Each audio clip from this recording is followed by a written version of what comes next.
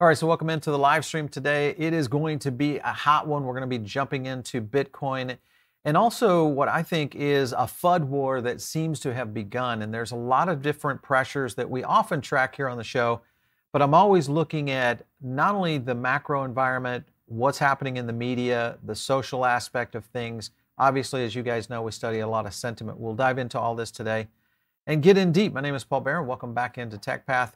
Let's get into Bitcoin because I think a lot of you are looking for that pre ETH merge run on whether it's Bitcoin or even Ethereum itself and what these uh, scenarios might be painting into the chart themselves.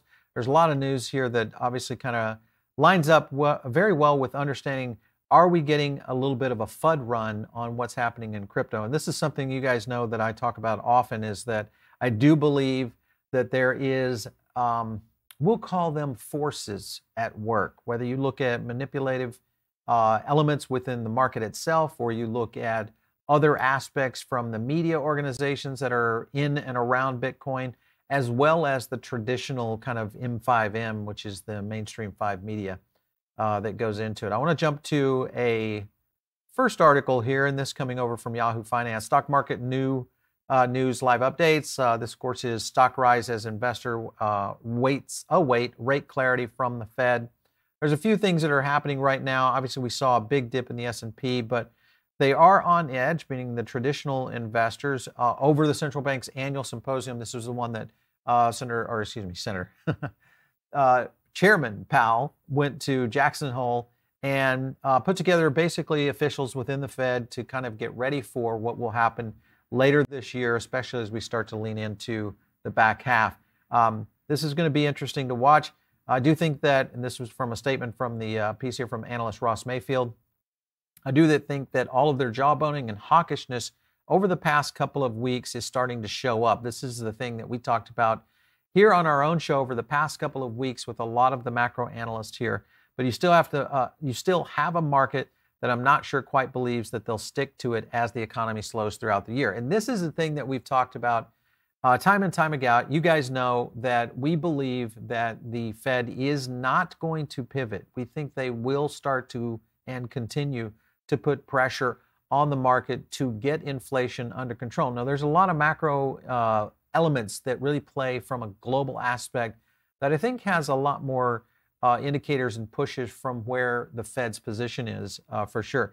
At the end of Fed's Wyoming meeting, the traders will tune in for remarks. Uh, Chair Powell, of course, on the next policy announcement, this is September 21st, will uh, coming September 21st, will result result in possibly another uh, 75 basis point hike or an eased increase uh, down to about 50 basis points. Will be the question mark, I think, overall as to whether or not we'll see those two elements play out in the overall interest rate um, play.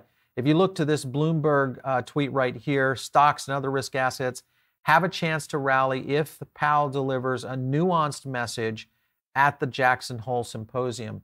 I am still believing that this is a lot of wishful thinking around where Powell is right now. My guess is that they have already started to analyze some of the data coming in. Obviously, we did see a lighter CPI print here from or in August from the July numbers. And the real question is, what is that number going to look like in early September for the August numbers?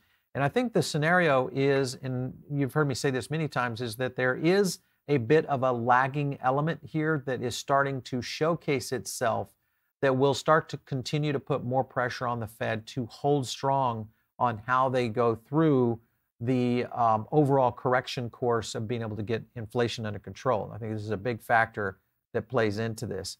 And all of this does affect Bitcoin. It does affect the potential of not only Bitcoin itself, but the altcoins that kind of trail along it. And especially, I think, could have a little bit of effect on even the Ethereum merge. Imagine this right now. You've got Powell coming back. This will the Ethereum merge, if it happens, and there's some things that I'll talk about here in a minute around that, but if it happens, uh, it will be right there, smack dab in the middle of a CPI print and the Fed FOMC meeting at the end of the month. To me, that's a very, very precarious situation because if we do print a higher CPI or we get any other indicators, then you have a lot of people looking at that market and whether or not they're going to go to safe havens to try to precede what could happen in late September.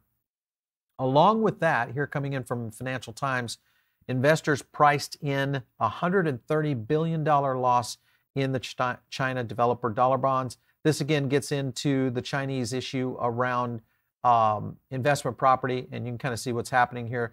Pricing in almost 130 billion in losses on Chinese property.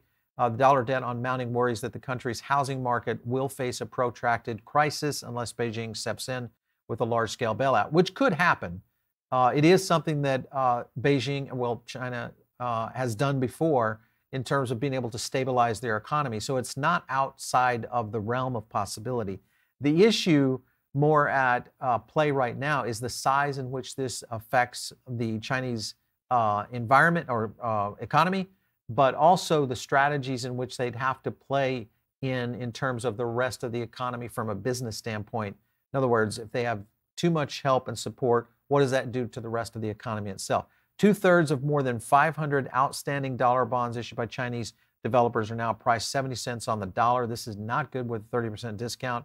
Rising pressure on the market comes a year after the Evergrande issue, which we reported on here. Uh, and that to me was the precursor to what we're seeing right now in the Chinese market. Uh, industry headwinds and negative news. It's very clear that many more developers offshore, uh, including dollar bond prices, have fallen sharply, obviously, since last year. Back to my point, not something that we like to, you know, kind of say, hey, we, we talked about this before, but it is a, a strategy that we have been very consistent about is that this will have a trailing effect on the Chinese overall environment in terms of their economy. And this to me has maybe one of the bigger plays on where this could have effect on the US economy, but more importantly, even the European economy, which all of those three major economies are very critical to the future of a lot of risk assets, including cryptocurrencies which is why I still believe that we are still due for a little bit more of a downturn.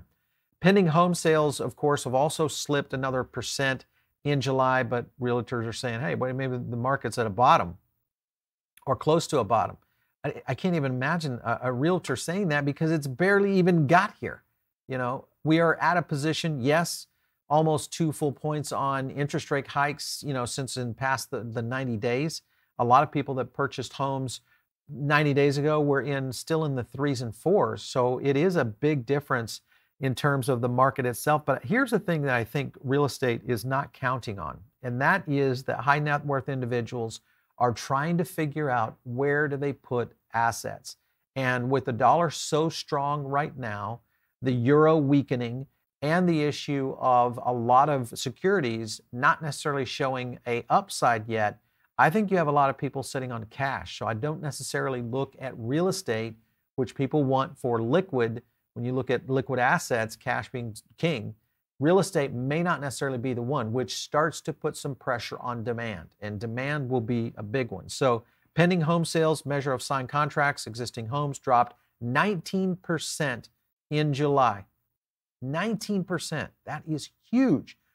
Also, the figure has fallen eight of the past nine months as rising mortgage rates. This is not something that I think we're going to continue to see um, a slowdown on. I think we're going to see a speed up on this market correction for sure.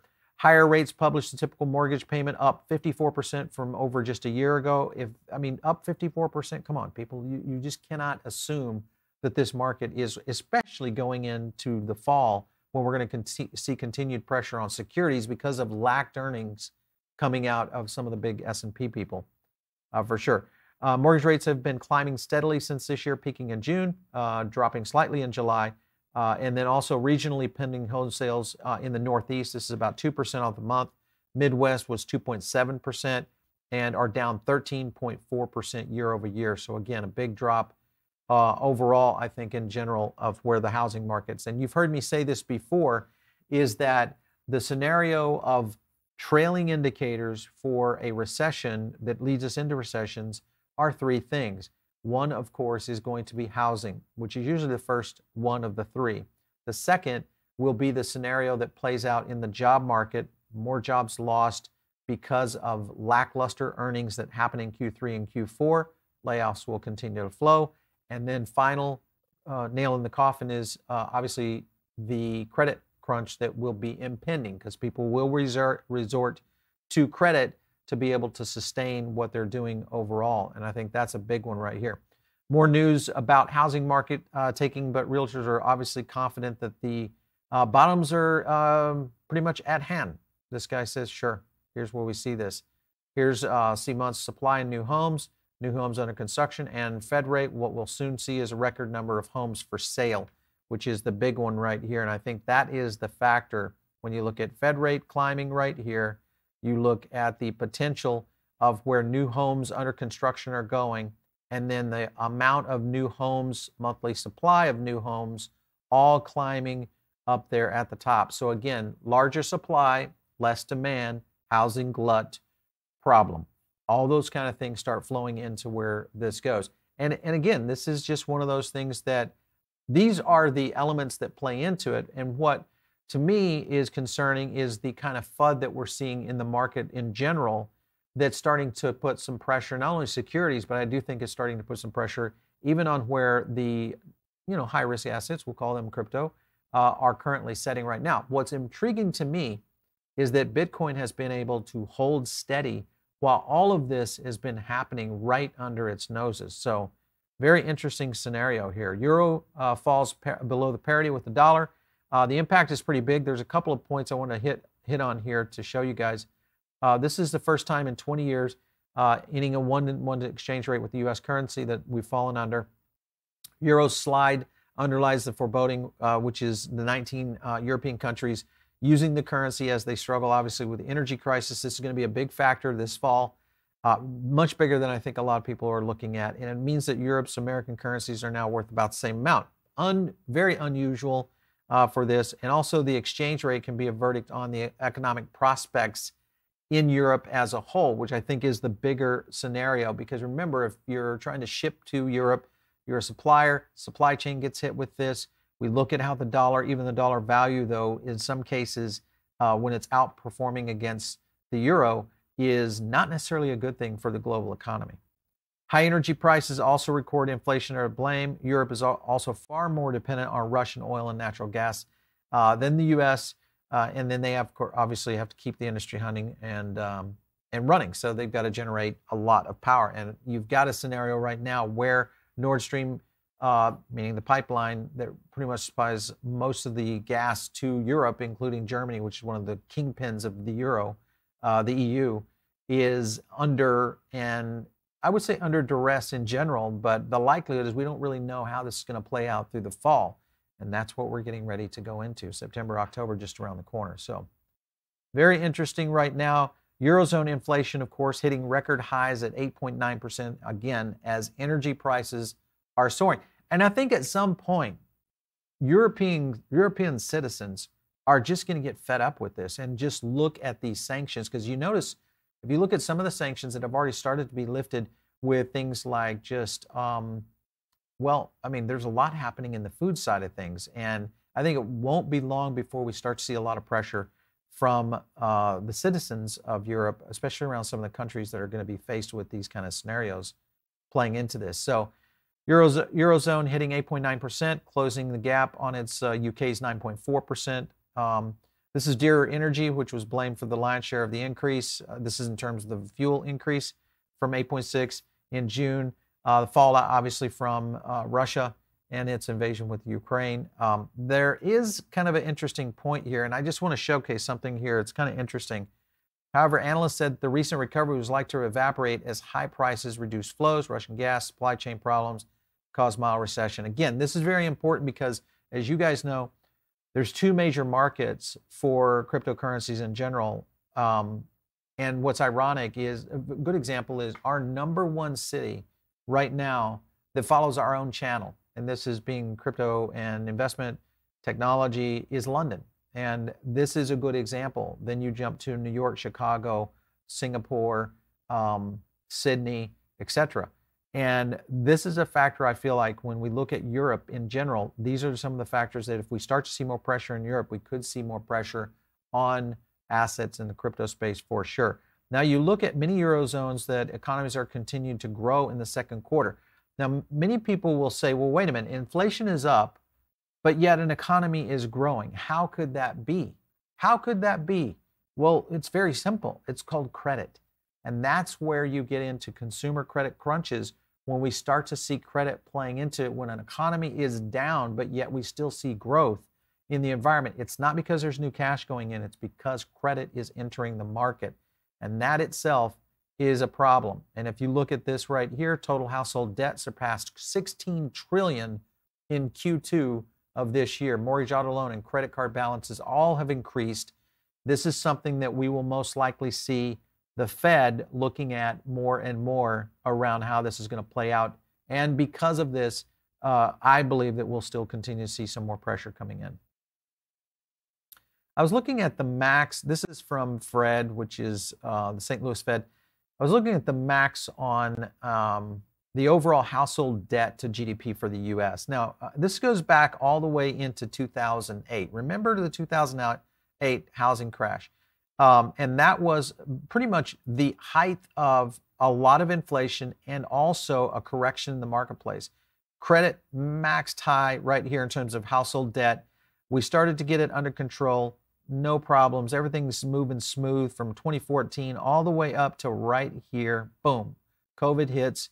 We had that big spike, a little bit of a downturn. This is where, where we saw a lot of the markets reacting. All time high on the stock market, all time high in the crypto markets, and then wham, we are right back at 80 billion dollars. So I think this is uh, going to be a factor that plays into uh, the future of where credit is really going to be showcasing as a problem in Q3, Q4 uh, as we start to see this play out for sure. Don't forget, by the way, guys, uh, you got to like the video because this is one of the things that really helps one get people out there to start learning about cryptocurrencies in general. Understand these assets are maybe as not as big of a risk as what i think a lot of people kind of you know insinuate that they are. When you look at the performance of what's happened with bitcoin and just in general crypto assets and I think the other scenario that's playing into this right now is the amount of legislation FUD and also banking FUD that's going to start playing into this in the most likely short term. It could be a scenario where this is very short played because of the ability to, uh, for, we'll just call them the powers that be, to try to restructure how the market might respond and give them an entry point. Big stuff could be happening. The only way this happens is if you like the video. By spreading that word, you're getting it out to others who will find this because of the algorithm here on YouTube. So make sure and smash that like button. Also, drop a few questions in over on the side. We'll try to get to as many of those. The poll is live right now, so make sure and respond to that poll too, because we love to see your, your feedbacks on what you think is causing price action on Bitcoin. Let's talk about this one, Bloomberg. This is um, this is something I follow very closely. Bloomberg has created a new tab right here. It's the crypto tab.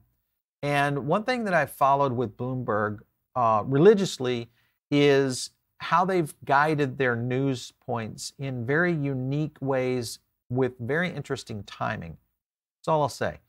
Banks' crypto exposure capped by Canadian regulators in new rules. Now, this starts to get into OSFI guidance appears to be guidance appears to encompass most cryptocurrencies. So Real question is, is how deep did uh, Mr. Orlin take this uh, in terms of research?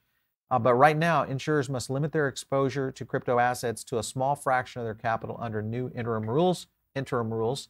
Again, I think this is a no story, but instead it has made front headlines, and it really starts, in my opinion, starts to put a little bit of pressure on the Canadian market and the Canadian investors because I think this is going to play out uh, very interesting. So their financials firms needs to, this is what you would have to do in the interim rules.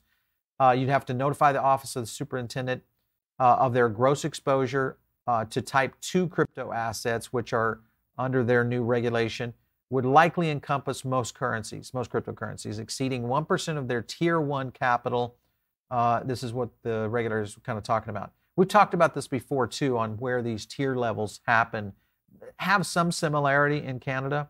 But uh, we, and this is something you guys have heard me say, is I'm watching Canada very closely because I feel like it is a leader, ironically, a leader in the, uh, especially in the DeFi markets and where that might go, but especially uh, in the kind of the new evolution of where finance is going to be moving in, in the future for sure. Uh, firms also need to notify OSFI in their total net short positions on these assets uh, that exceed 0.1 of the tier capital and these, these rules right now are effective in the second quarter of 2023 coming up. So again, that tells me that we're probably not going to see much sweeping regulation in Canada, which could be a good thing because uh, we need to guide this, I feel like, from uh, the US side of things, at least in being able to get a global uh, sense of where this might go, which will be interesting because uh, we have a midterm coming up. And a lot of play in that midterm is essentially going to kind of set the road for how regulation may play out. So watch who wins these midterm elections very, very closely. And um, like there's several Congress Watch uh, websites out there where you can look at your own uh, representatives and take a look at their positions. And many of them are starting to develop positions on cryptocurrency.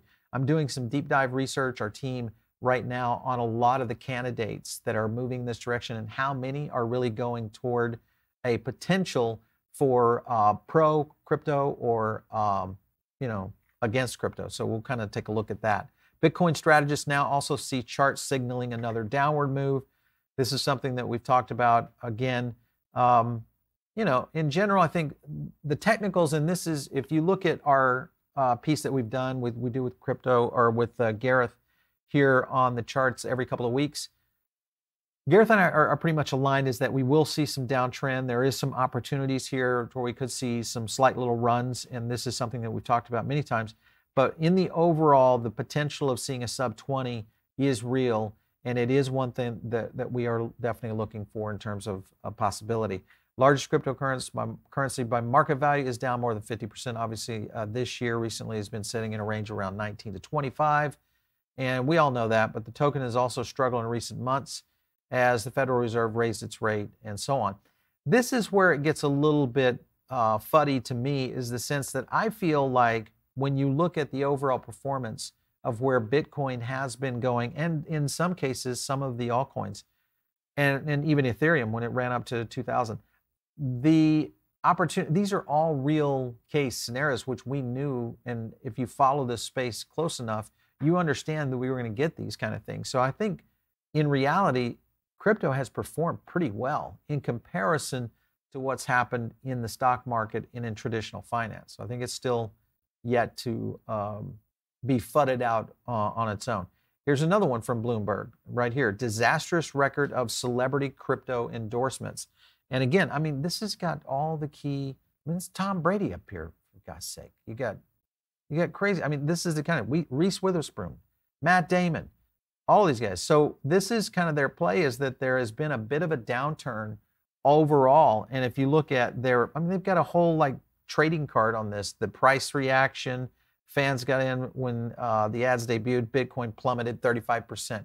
I mean, to me, this tells me you're showcasing when a market is in a downtrend and trying to blame a celebrity for for sponsoring a product or not even a product but a vision and picking the worst ca- case in point to be able to showcase the performance. So to me, this is just um, this is just crazy. I mean, here you got Tyson. Of course, you have to go put it in with Tyson. 95% dip. Then you got Withers, Witherspoon right there, slumped 75% since the partnership that she announced uh, with World of Woman NFTs. This is the kind of stuff I'm talking about. Is go ahead and you know just un- unclothe the market at its worst case ever. You do this with any asset class out there, gold, securities, bonds, doesn't matter. You know, the likelihood, the difference is is that celebrities are going to be a big part of this because crypto in general is a part of pop culture. And that I think is the biggest crux of the matter, especially with the traditional finance sites, because there is not a fundamental model in which it can be measured. That creates a big problem for guys like Bloomberg, Wall Street Journal, all those guys. Let's go to Bloomberg TV. We'll listen up to hear what Mike Alfred had to say. This was an interesting um, point that he's talking. Price is going to be a real issue uh, when it comes to crypto mining. This is uh, Mike Alfred uh, talking about this. And remember, Mike is yeah. So I mean, look, a, um, if you're in Europe uh, right now, I don't I don't envy you at all. And I think this this speaks to geographic diversity as well. The miners that I think have the best future are going to be able to operate in multiple different jurisdictions, so that if they are experiencing either regulatory issues or power price issues in a given market, they're able to shift uh, their machines and their production um, from environment to environment to take advantage of any arbitrage that, that could exist there. Um, so power prices are going to be a real issue, um, particularly in places where there are supply chain related issues, like in Europe. Uh, whereas Canada and I think most of North America broadly looks pretty good because we have sort of an oversupply of renewable energy. In the panhandle alone of Texas, there's something like 20 gigawatts of excess power that's basically not used because there's no way to get that power down to the load centers uh, yeah. uh, down into the south. That that's the power that's being soaked up by Bitcoin miners, and we don't expect the price of that to go up astronomically simply because there's so much of it. All right. So what uh, what they were really hitting yeah. So I mean, look, if, you saw, if you're in Europe, if you saw a lot uh, right now, I don't. Pause I, that real quick. So when you see a lot of of, of this, uh, and and let's cut back to this because I want to kind of showcase this right here.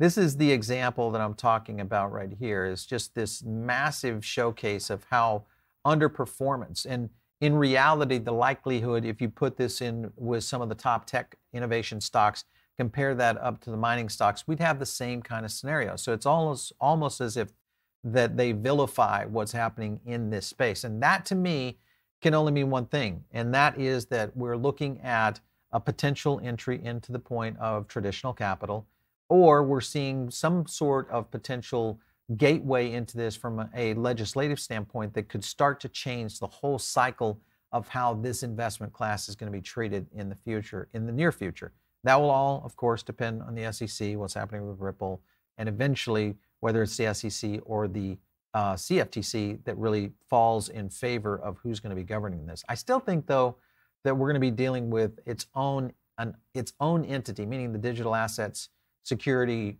regulators will eventually become its own entity. I just don't necessarily see this is going to be happening here. Again, don't forget, put some questions in over on the side. We'll get to the poll here in a second.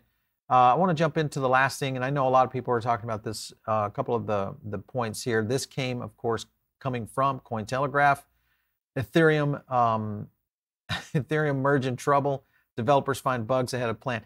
Basically, again, another FUD topic of uh, that Ethereum is not going to make the merge. Now, you understand my theory is this isn't a bad thing. It's I feel I'm, I'm saying that this didn't happen, meaning they said sure there was bugs, but it was immediately fixed. So this is something that does occur in, in the stage development of any major software update. Think of it like software updates if you're thinking about software development.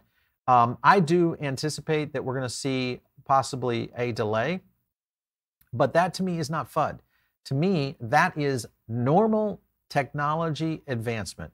Now, have they had enough time? If they hit the time, to me, that would be a huge, more so a win of accomplishment by the Ethereum team to be able to hit that date and be able to stay with it. If they do that, this to me is a huge sign that cryptocurrency and more importantly, Ethereum could be on a track that is maybe unknown of what its potential future is in the future because this I think plays into not only the psyche of investors but also I think in the trust of how investors look at something like Ethereum as an asset uh, for this particular asset class itself. Let's just remember this, guys, and this is always one that I like to bring back up. Uh, this is what Bill Gates got wrong about the internet in the 1990s. A lot of this has the same framework right now. If you look at past predictions, good reminder, something that seems crazy now will be the, be the rage in this few as five or 10 years. What were they talking about? They were talking about the internet. Similarly, it seems cutting edge may end up on the cutting room floor. No one knows better than Bill Gates. This was in 1997. Uh, that was the year that the millionth dot .com name was registered, and some influential members of the tech industry uh, were very slow to understand what the World Wide Web would be, and it might be a pretty big deal. So this is exactly where we're dealing with in blockchain and Web3, is we are in the same point.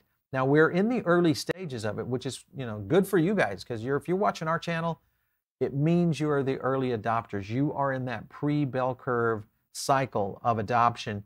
And we're going to see, I think, a very interesting um, scenario. So, a lot of these investors that are naysayers of where this technology is going, a lot of the Peter Schiffs and the guys like that of the world, they're going to realize that the future of technology is built on blockchain. The future of technology is going to be Web3 and how blockchain will be integrated in all of that good stuff.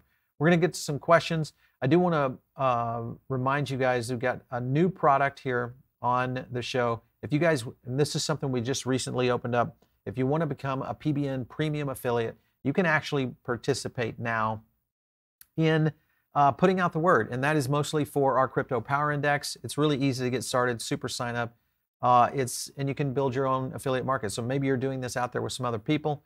Uh, we have now made this available for all of what we're doing in terms of the mastermind courses, as well as the mastermind group and the crypto power index, all available now out there. We give you your own tools so you can go grab assets here. You'll get a, a welcome letter and then uh, assets that we provide you uh, that you guys can use. So there's the power index, the mastermind. Here's the best thing if you are an affiliate.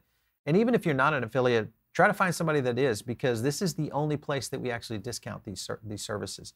It's the only place where you can actually get one. So get a code from one of the affiliates and you'll be able to get a discount on any of those tools, including the annual passes, uh, including our coursework, all that good stuff. Let's go and jump over to the poll real quick and see how this one uh, turned out. All right, what affects on Bitcoin price more? Media FUD, 30%. Wow. Altcoin dominance, not a big one. And then, of course, global and macro inflation. And you guys are, you know, you guys are way ahead of the curve here. And I think you understand the scenario that that we are faced with right now is real in the sense that for this market to really get to the next level, we got to get through this economic problem. And the economic problem is high inflation. It is a correction of the overprinting. Uh, and it is a correction of the overall society impact that we're dealing with both in Europe and China, which is causing its own problems. But more importantly, it's being guided by what's happening here in the US. So, a big one.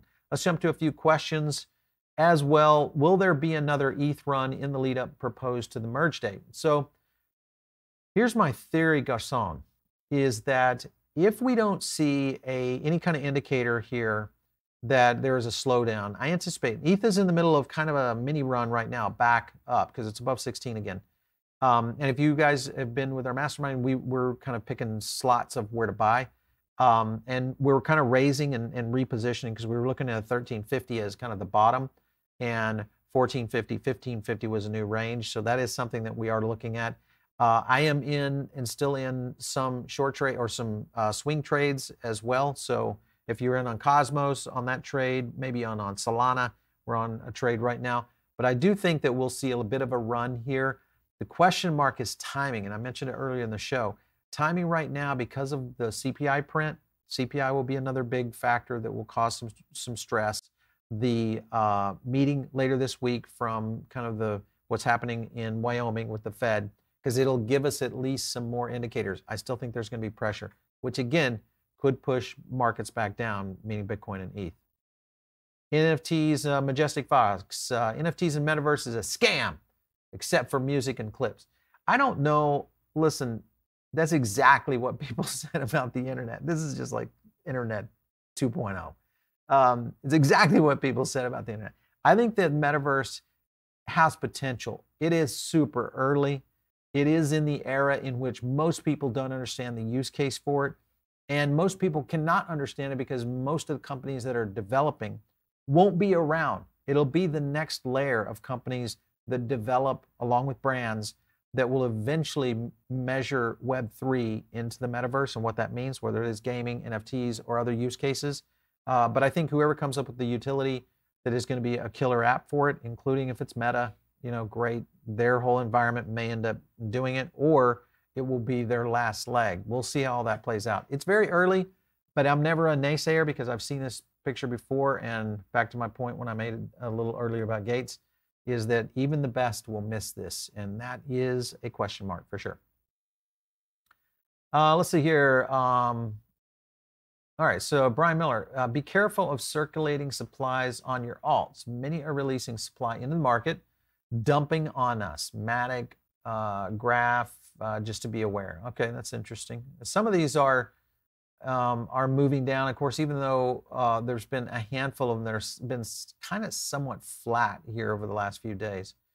Uh, this is Road Rage. Uh, what do you think of catalyst will be for the sub 20 Bitcoin drop? I think it will be a uh, more than negative um, situation with jobs, a, a higher uh, problem with jobs, which that data will come in in September a 75 basis points uh, end of September, and uh, S&P uh, third quarter numbers coming in really bad. because uh, that's going to put some pressure on all the market, including the ones that are trying to liquidate stocks and hence possibly go into other all, uh, asset classes to pull money to do margin calls. So it's a tough one. Five years time, we'd be smiling. I would I would agree with that, uh, Wesley. It's just a matter. It's not timing on the market. It's time in the market. Okay, Brum. Let's go here. I know a lot of you might not like Warren Buffett, but he said he buys into companies on what he thinks their worth is, not how much they are personally uh, think they're all top altcoins are worth something there. What was that? Are, are, are worth uh, 20, 20 bucks maybe? Um, not sure where that, that one's going. I like Warren Buffett. I think he was a great investor in his day, but I think it's a new day. I think there's a new cycle of investors, a new process for investing. And uh, quite honestly, I think there's a new asset class for investing, and it's changing the dynamic that if you don't move with that, it's not that those investments that he had, but those are 20, 30 year old companies that, sure, they've had their time in the sun, but they don't last forever. Everything always has a change. Uh, VZ Fact. Uh, buying the red days weekly and hold. I know this is history playing the same guy, and this is, as they did with gold. So I, am a big uh, proponent of that. Um, I really like doing the the super bloody day buys uh, because it's the hardest to do. Is when Bitcoin is just falling off the map. Same thing with Ethereum or other your altcoins, and you're going, mm, I'm going to buy it while it's you know down 22 percent that's a hard decision to make for most investors. But if you're convicted on a particular project, and the same thing with stocks, there's some stocks that move on this uh, rally just like this. So, you know, it's something to play for sure. Uh, Garcon, uh, what does your personal portfolio look like uh, at the moment, PB? All right, so I'm still heavy on Bitcoin. Uh, I sold 75% of my ETH, moving up to 2,000, looking for a lower entry point. It came. I started doing uh, a couple more acquisitions. I still am looking for a lot of cash on the side, looking for opportunities. I'm in a uh, short trades with uh, Solana or swing trades with Solana, Cosmos. Uh, I have a handful of, of tokens that I'm holding longer, which are things like Matic, Gala, Sand. Um, what else do I have? There's a handful of other uh, altcoins that I like, uh, you know, long-term wise.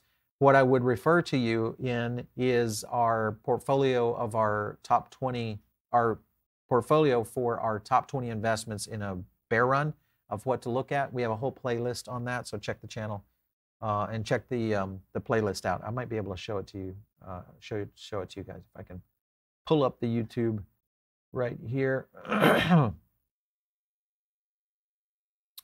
All right, so if you go to the YouTube channel, just scan down here. I think it's, yeah, it's right here. So the 20K buy the dip crypto portfolio. What we did with this uh, was pretty cool. We, we broke down uh, a variety of assets in different classes so you can kind of figure out what class you like. I'm, uh, you know, I'm a layer one guy. I'm a layer two guy.